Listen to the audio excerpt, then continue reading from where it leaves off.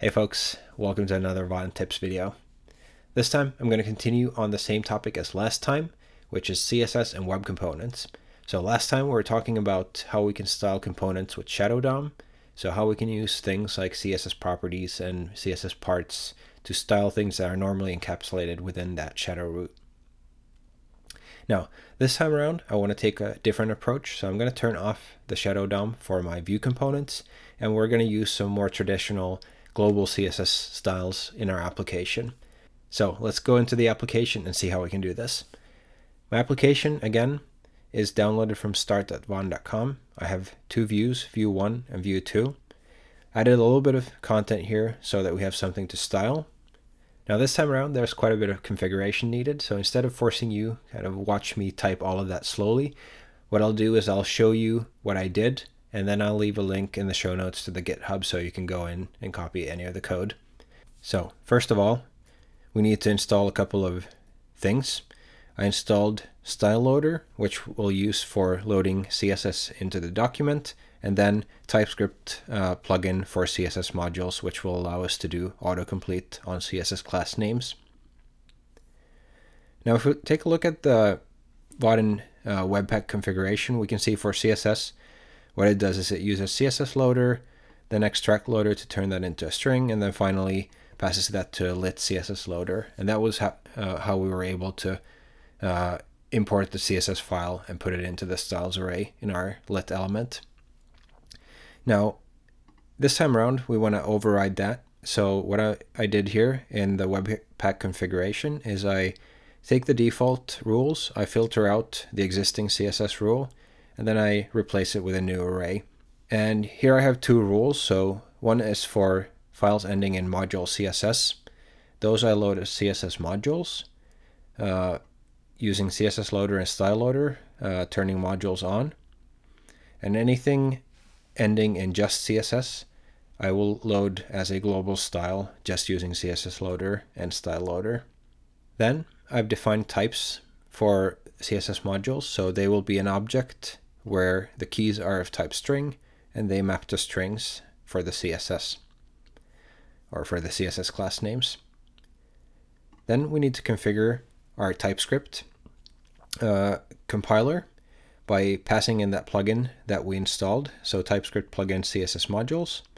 All right, and for this plugin to get used, we need to make sure that we're using the workspace TypeScript version, not the global VS Code version. So the easiest way for that is go into a TypeScript file like this one and click on the version number here and select select TypeScript version and make sure that you've selected use workspace uh, workspace version like so. All right, so that should take care of most of the configuration. Now, let's jump into the actual code. So in our front end folder, again, we have all of our front end assets. We have our views. We have view one uh, with some content. We have our warning div again. And in view two, again, we have a warning div here. So that way we can try the global styles. We have a styles folder with a shared styles JavaScript file. This is something we want to get rid of. And then we have the index file that is the main entry point to the application. So let's start by getting rid of this and putting in our global styles. So I'll move this import into the index file. And then I will create a new file here in the styles directory called styles.css. I will remove the JavaScript file. And here I'll create a class for our warning div. And again, let's do it very similar to what we had in the previous video. So thick black border, four uh, border, four pixel solid black, background, yellow, padding 20 pixels, margin 40 pixels, zero. I think that was pretty close to what we had. And then in the index file, we will go ahead and import this file.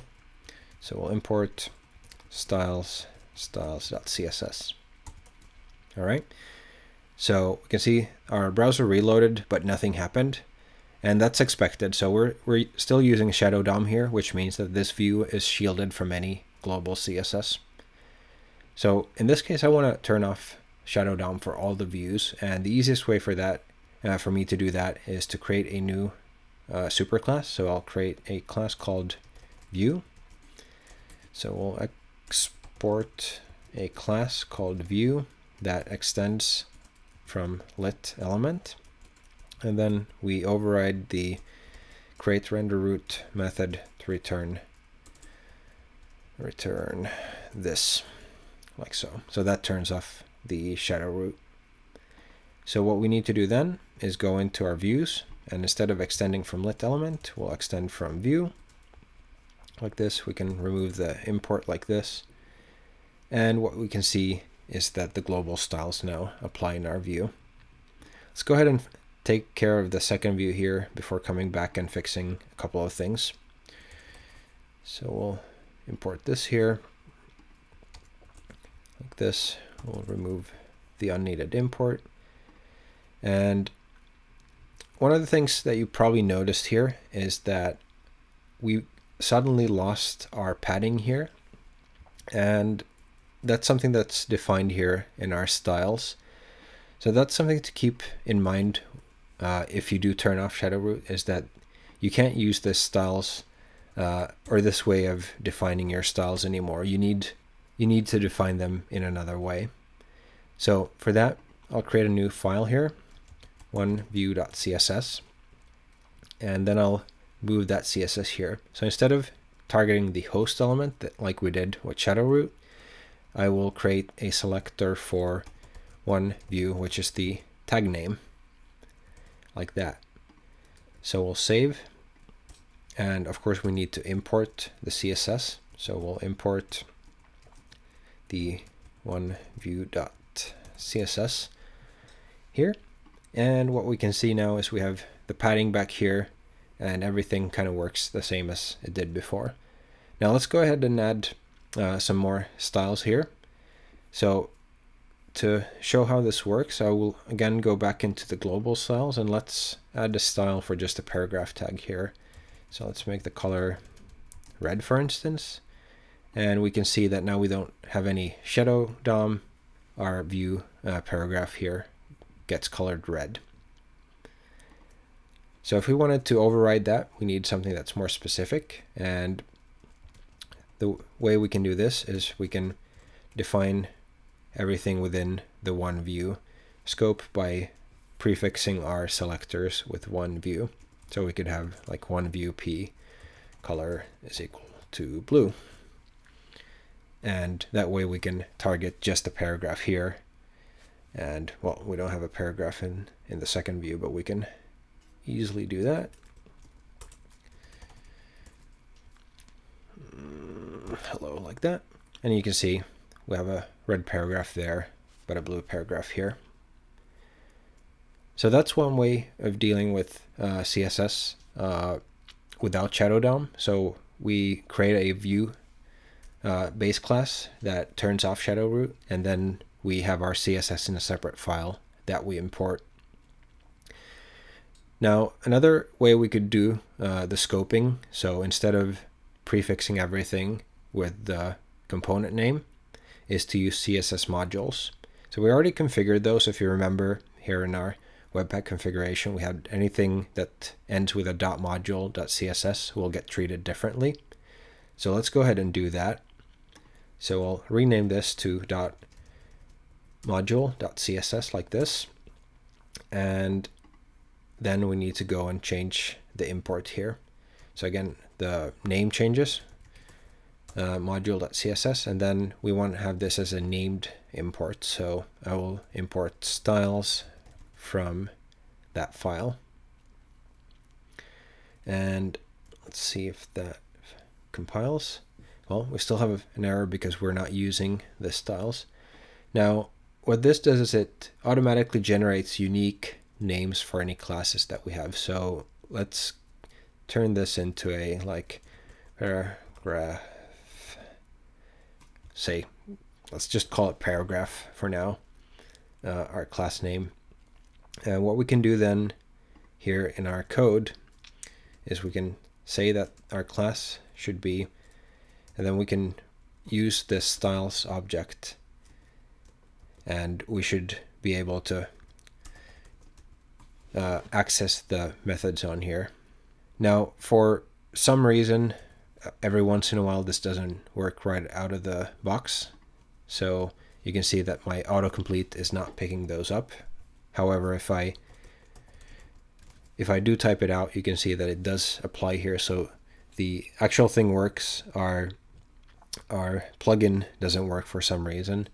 Uh, if that happens, you can close your uh, VS Code and open it again. Like so. I'll just turn on build again. And what you should see, now is that once the TypeScript compiler comes back online,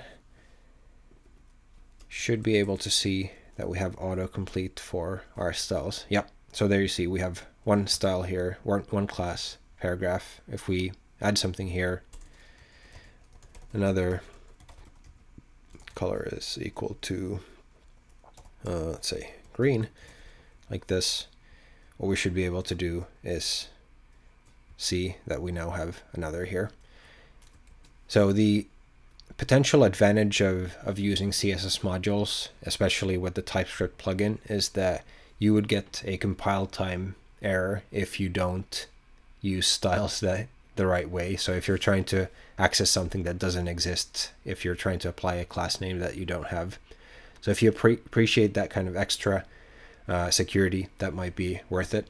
The way that works under the hood is if we look at the paragraph here, is it generates these uh, unique identifiers for every class so that you don't have collisions between different between different views. All right, so there you have it. Two ways of dealing with uh, CSS without Shadow DOM in your application. Again, uh, you need to remember that if you do turn off Shadow DOM, you won't have access to some of the web component features like slots and child element support. Uh, but with that in mind, this is a very convenient way of styling your entire application or using existing CSS frameworks like say Bootstrap. So I hope this video was helpful for you. If you have any questions, if you have any ideas for new videos, be sure to ask those in the comments below.